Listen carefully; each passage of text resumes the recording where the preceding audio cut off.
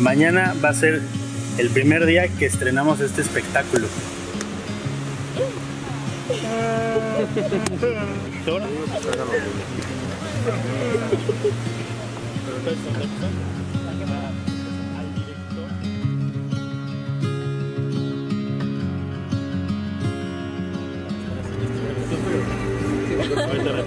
Ay, su cara, me encanta. Sí.